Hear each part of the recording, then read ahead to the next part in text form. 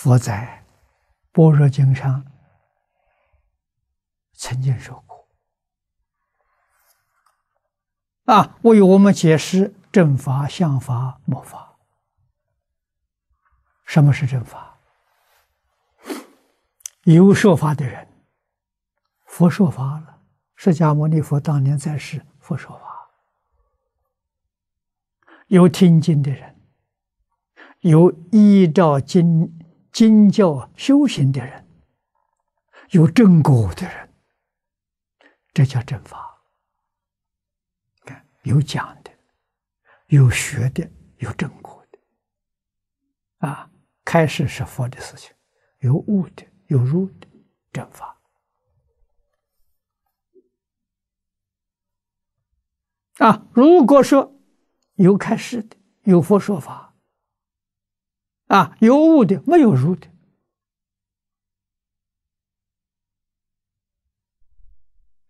这叫想法。啊，没有正果的。换一句话说呢，他悟性很高，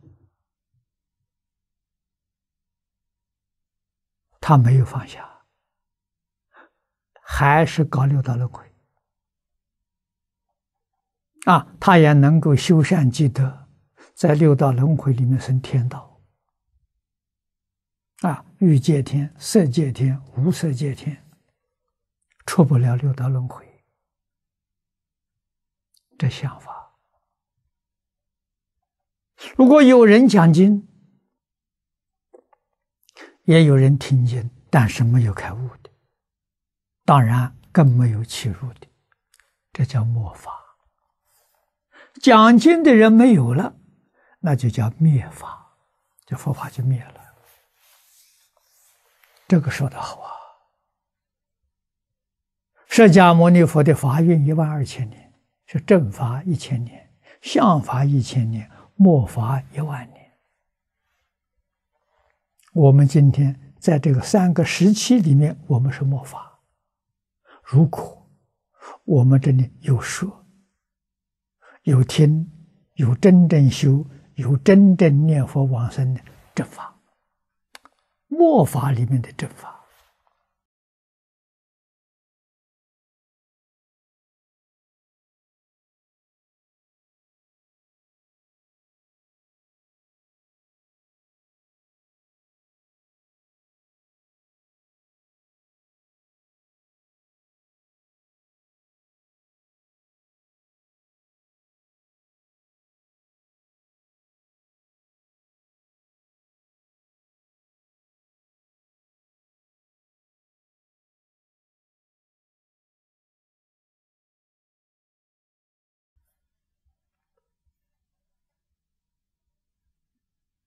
啊，这正是一切法不离自性呐！